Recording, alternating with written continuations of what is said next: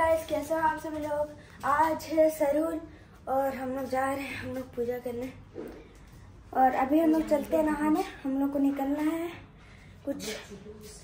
हाँ? हाँ जुलूस के लिए निकलना है हम लोग को। यहाँ पर ये मना है, कभी नहीं वीडियो में देखे होगे। अभी हम लोग नहा चुके हैं और अभी जा रहे हैं पूजा करने। और फिर हम लोग जाएँगे जुलूस के लिए। और सब गाइस अभी हम लोग तैयार हो चुके हैं जुलूस जाने के लिए। हम लोग खाना सब भी खा चुके हैं। डॉगी लोग को भी खाना दे दिए हैं। अब जाते हैं जुलूस और फिर वहाँ पर चलना है। बहुत दूर जाना है हम लोग को चलते चलते। अभी हम लोग बाहर आ चुके हैं। मम्मी आ रही है। बस संगीता वाला को बस तैयार हो ही गई है। यहाँ गाना भी बज रहा है पीछे। यहाँ आसपास। तो अभी हम लोग चलेंगे जुलूस में। सरहुल सर और हुल से मिलकर बना है सरहुल सरहुल दो शब्दों से बना हुआ है, सर और हुल।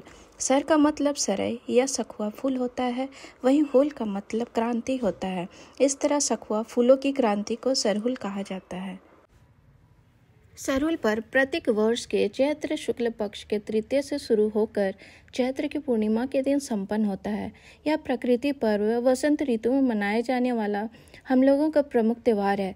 वसंत ऋतु में जब पेड़ के पत्ते पतझड़ में अपनी पुरानी पत्तियों को गिराकर टहनियों पर नए नए पत्तियाँ ला, लाते हैं तब सरुल का पर्व मनाया जाता है। सरुल पर्व चार दिनों तक मनाया जाता है, जिसकी शुरुआत चैत्र माह के शुक्ल पक्ष की तृतीय से होती है और अंग्रेज़ी माह के अनुसार यह पर्व मुख्य रूप से अप्रैल के माह में मनाया जाता है। कभी कभी यह अंतिम मार्च में भी मनाया जाता है। सरुल पर्व प्रमुख रूप से झारखंड राज्य में मनाया जाता है।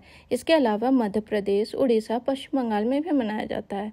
आदिवासी बहुल क्षेत्रों में इसे बड़े ही धूमधाम से मनाया जाता है। इस पर्व में पूजा होने के बाद नृत्य के साथ गायन का भी कार्यक्रम किया जाता है। सरुल चार दिवसीय पर्व है, जो कि तीन दिनों तक चलता है। सरुल आदिवासी, यानी हमारे अनुसार, इस पर्व के बाद ही नई फ़सल, रबी फ़सल, विशेषकर गेहूँ की कटाई आरंभ कर देते हैं। इस पर्व के बाद ही आदिवासियों का नव वर्ष भी शुरू होता है। सरुल पूजा में केकड़ा का बहुत ही महत्व है।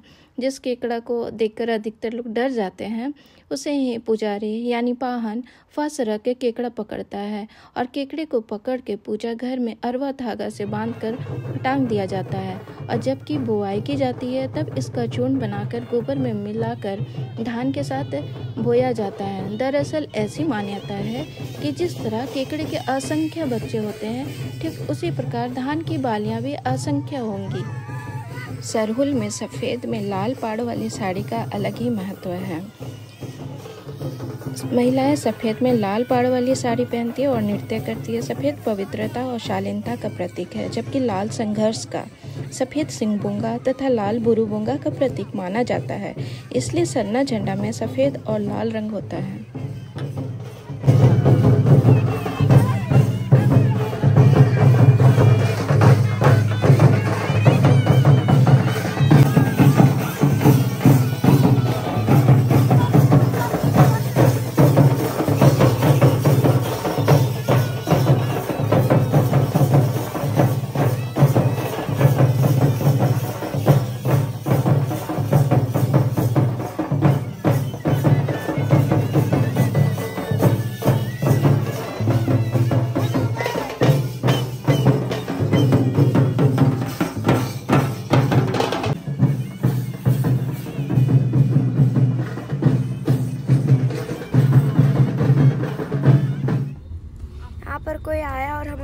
फ़ोटो खिंचाने लग रहा था, तभी अचानक से पीछे हो, सब लोग होने लगा। और डांस होते होते सब लोग पीछे होने लगा और जुलूस के लिए हम लोग ऐसे ही जा रहे थे आगे।